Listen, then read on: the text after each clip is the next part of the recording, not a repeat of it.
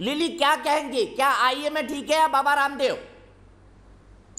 देखिए, मैं ये तो नहीं कह सकती कि कौन ठीक है और कौन नहीं। इसका फैसला तो आप लोग स्वयं ही कर लीजिए। इन लोगों की बहस से ना, ये ज़रूर समझ में आ रहा है कि ये बहस का मुद्दा है ही नहीं।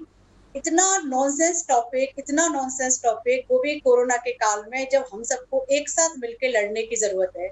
हम आपस में लड़ रहे हैं, एलोपैथी ठीक है, आयुर्वेद ठीक है। और, अगर मेरा पर्सनल मानना है तो मैं कहूँगी हाँ आयुर्वेद ज़्यादा ठीक है।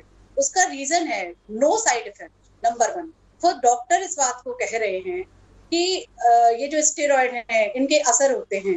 खुद ये क्या कह रहे हैं कि हाँ थोड़े बहुत स्टेरॉयड के असर होते हैं। मैं कह रही हूँ थोड़े बहुत नहीं बहुत ज़्यादा स्टेरॉयड के असर होते हैं।